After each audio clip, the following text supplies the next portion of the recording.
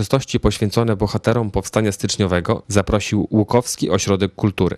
W kolegiacie pod wezwaniem Przemienienia Pańskiego wyświetlono fragmenty filmu Powstanie 1863 z 1922 roku, nakręconego na motywach powieści Stefana Żeromskiego Wierna rzeka. Film był ilustrowany muzyką Łukowskiej Orkiestry Dętej oraz poezją młodych łukowskich recytatorów. za ojców, braci, kości bielejące w Sybiru śniegach, wśród Kaukazów skał, sióstr, żon i matek naszych łzy gorące, co drugim hańbą w żywe oczy trwało za plemion całych zmarnowane lata,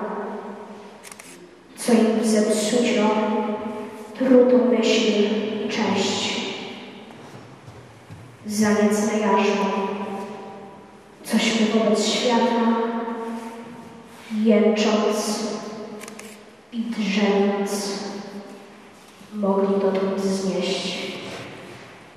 Na bój Polacy, Na na święty święty bój, wolności wolności duch, to to Boga, Boga miecz, na bój, na bój, na bój, na bój, nikczemny zbój, nikczemny zbój, Jak zwierz jak zwierz spłoszony, wierzchnie queixa-me a prancha.